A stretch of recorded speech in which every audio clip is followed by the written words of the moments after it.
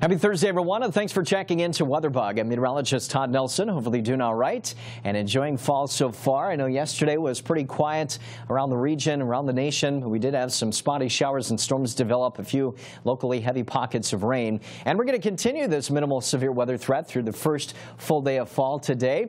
But Mid-Atlantic, you're expecting some very heavy rain over the next few day time period and some uh, flooding potentially there. And uh, looking ahead even into early October. Warmer temperatures temperatures still on the horizon. All right, tropical update for us. Pretty quiet here through the September 24th. National Hurricane Center keeping an eye on an area of low pressure south of Mexico. And tropical storm Ida continues to just wander around the central Atlantic, really not posing any threat to any major landmass. But uh, severe weather concerns today, pretty minimal. General thunderstorms in the central U.S. along the coastal communities and also here in the mid-Atlantic region. So by tomorrow, the thunder threat eases up a little bit over the central U.S., but continues around the coastal bend of Texas through Florida. And then this is that area, that stream of moisture coming in from the Atlantic that's really going to be kind of just uh, dousing those particular areas. A lot of heavy rainfall, and as I mentioned, over a several day time period, you can have some pretty significant tallies of rain. So that Midwest rain threat will start to fizzle out, the remnants of which was uh, Tropical Depression 16 kind of winding down here today and tomorrow,